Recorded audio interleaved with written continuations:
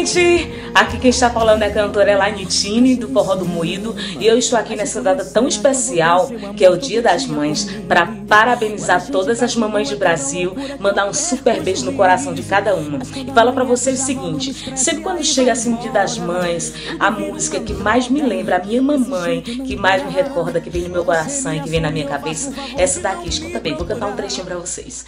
Mãe, a vida foi você quem me deu e a cartilha me fez entender.